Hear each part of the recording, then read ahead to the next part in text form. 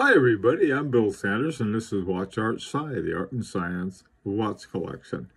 Uh, what I want to talk about today is the a set of watches. These are five watches, five watch brands that are overlooked. They're they're superior in in a lot of different ways to the what we'll call the, sort of the usual suspects. And the other thing about them is that they're identified with more with um, fashion and, and jewelry companies mainly, and fairly high level at that.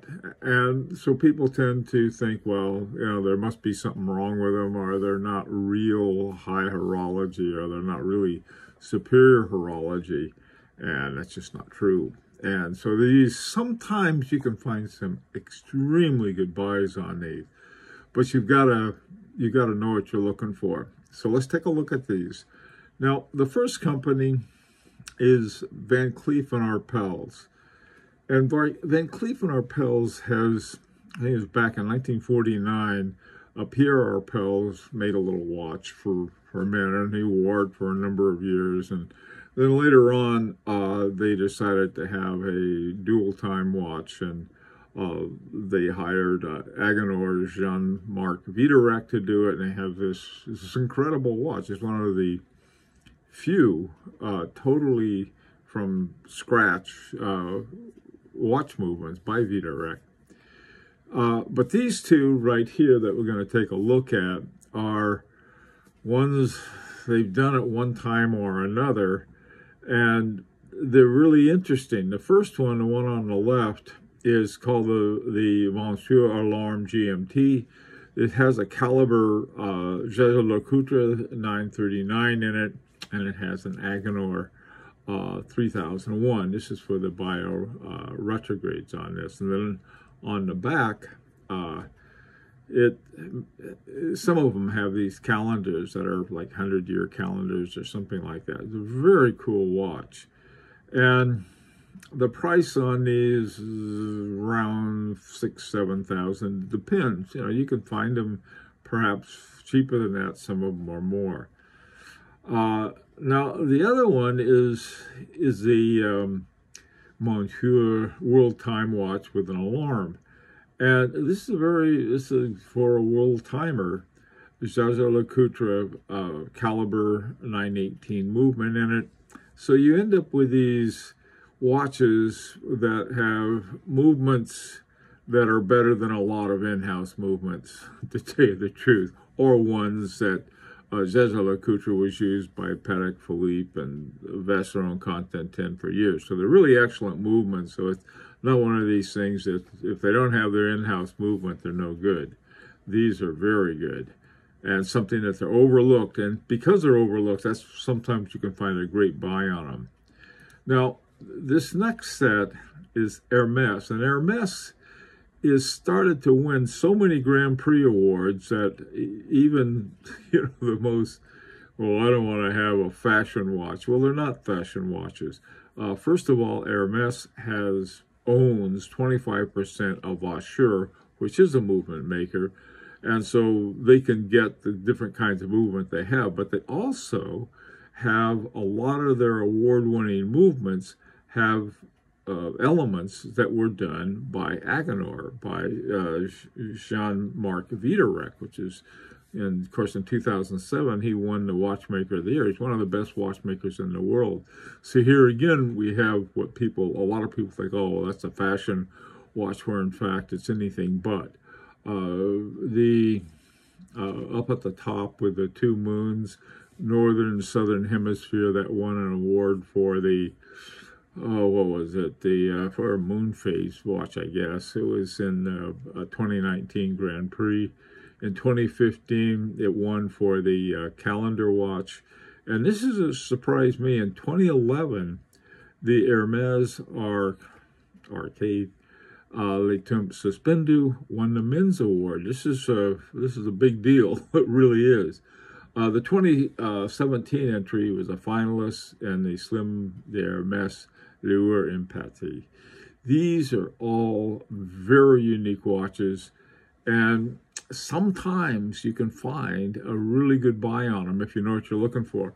I, I tried to get the temp sus suspendu on a, tried to slip in a price at an auction, but it's one of the things about auctions. If you go to one of the major auction houses, the watch buyers, watch collectors are a lot more sophisticated than your guys who are getting the usual suspects, I'll put it that way. Now, this next one, now Chanel, uh, these are expensive watches. The MSRP is $41,000. Uh, I found a pre-owned one that looked pretty good for about 25. That means they're, I mean, they're, you don't find really, you know, cheap deals on these ones, but these are extremely good watches. The um, Monsieur de Chanel, uh, this was, they were designed pretty much by Romain Gauthier. And he worked with the movement team to develop the Caliber 1. But when you take a look at it, they look a lot like the kinds of calibers on his own watches. One of the top uh, watchmakers in the world. Here again, you have this what's viewed as a, uh, uh, a fashion brand, and it's not. I mean, they have they're too good. They also own, I think, what 10 or 20 percent of uh, FP Journe, which is another resource. Now, there's one other watch that they make called the J12, and they came out a couple years ago with a movement by uh, which they teamed up with Tudor to have make their own movements for them. Now, this is these things are relatively inexpensive, but they're beautiful looking movements on them. And it's something that you might want to consider if you're looking for bargain basements. You've got to get the right J12 uh, because there were different versions. Earlier versions had ETA movements in them. But Chanel is something that if you can get your mitts on one of those and not go broke, they're really something. Now, the next one is Bulgari. Uh, these watches uh, have really, there's sort of two parts to them. There was a period uh, when Daniel Roth and Gerald Genta work for uh, Bulgari, and I, I, guess the, the watches they made were, were fantastic. Here's one example. Uh, this one is uh, it's called the Daniel Roth Grand Lune, and again, this is what Bulgari has. You can see the Bulgari uh, little uh, label on there. And it has a, uh, caliber Daniel Roth 206, 3 hertz movement.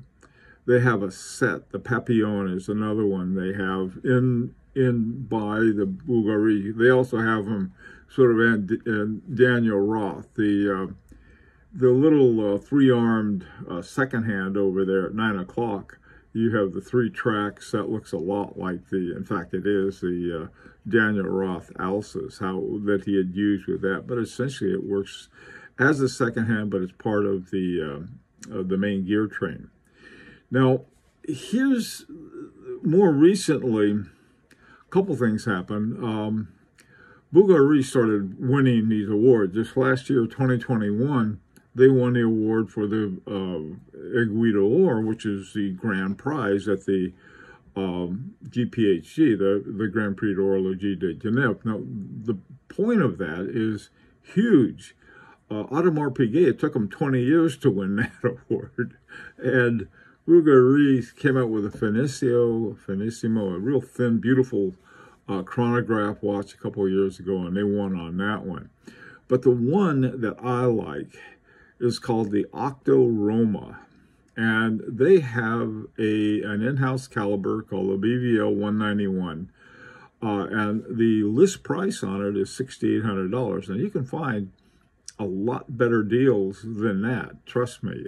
this is a wonderful watch, great looking watch. They, here's a green one. They, they also have them in blue and then a black dial. Just really fantastic uh, watch. And I think one that's very much overlooked. But if you want to get a really, you know, top drawer watch for not a great deal of money, this is something that you, the Bulgari is something you may really want to consider. Now, the final one is Harry Winston. Uh, I have a Harry Winston. In fact, I have the one on the left, the Premier Bi-Retrograde. Now, there, there's sort of two, two versions, really. There's sort of the pre-Swatch era of Harry Winston and the post-Swatch era. During the pre-Swatch era, they had everyone from um, uh, uh Roger Dubuis, uh, Jean-Marc Wiederrecht, F.P. Journe, all kinds of people making movements for Harry Winston watches. And, you know, uh, this particular one is uh, the Premier Bi-Retrograde. This is one I have. It has a Girard Perregaux caliber uh, 3106.B1 uh, movement, but then it has the uh, bi-retrogrades module, uh, Agenor 2351 by Agenor, which is like, you know, tip-top best watchmaker in the world. Uh, now, the post-Swatch is a little different. Uh, post-Swatch, the Post uh, group owns them, and of course, they want to put their own movements in it, and they have one that they uh, that was used in the uh, in this particular watch in this Harry Winston Midnight uh, Date Moon Phase Automatic. And the caliber's HW2303. It's got a silicon balance spring uh, Swatch along with Patek Philippe and Rolex all went together and developed a uh, silicon hairspring. Patek Philippe now has it, I think, in all of their uh, watches. I don't particularly care for them, but that's me and sort of old-fashioned that way. But uh, still, it's a very good watch. Uh, the MSRP on this is 27300 but you know, I found a new one at Jomashop for 18000 so it's not that's these are not watches I think for necessarily for investment watches, but you can find some really excellent horology. Um, this a similar movement by I think uh, Jaquet Droz uh, has a similar movement to the Harry Winston 203203. Now, if uh, since Swatch owns both of the brands, then they can sort of swap around the uh, movement. The same thing happens with uh, ones that are owned by um, Richemont now. So anyway, that's something that you have to know about. But again, these are overlooked, and oftentimes you can find great buys on them. Uh, and because people will say, "Oh, well, they're they're not what they what they they're not high horology in the sense that they have their own movements. Some of them have better movements than their own ones would ever be. Anyway, let me know what you think of this. And uh, this is not, not, not only an opportunity, but it's an invitation to subscribe if you'd like. Till next time, this is Bill Sanders for Watch Art Sci, the art and science of watch collection.